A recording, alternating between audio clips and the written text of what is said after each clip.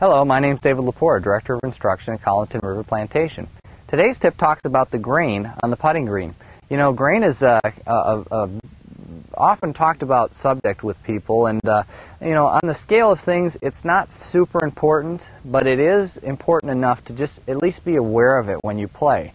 Now, when the grain of the grass lies down and uh, the golf ball is going over the grass, it's going to be a faster putt or a faster chip shot. If the grain of the grass is standing up a little bit and you're putting into it, it's going to slow down the ball and it, you know your distance control with your chipping and your putting is going to be affected. Now remember, you know if your putt's uphill or downhill, that's going to be your number one uh, determinant on speed. But with that said, you also want to pay attention to the grain. And so, what do you look for on the putting green?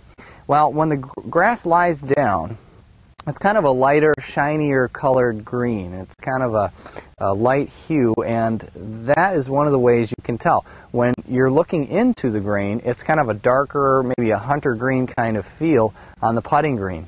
I've also seen people take their putter and move their putter against the grain or down the grain, I would not recommend doing that. We're not really allowed to do that. So you're going to have to do it with your eyesight.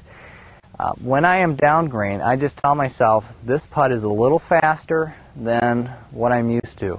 When I'm into the grain, I have to tell myself to hit the ball a little bit harder. This putt here is a classic putt that is down grain, and so that ball is going to travel extremely fast, and so we've got a lot of speed there. Um, if I'm on the other side of the hole, putting into the grain, this putt right here is extremely slow.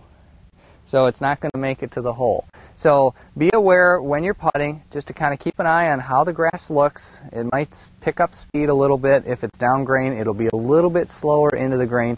And also be aware when you're chipping how the grass lies because those chip shots spend the majority of the time rolling as well. So good luck with reading the grain and I hope that helps.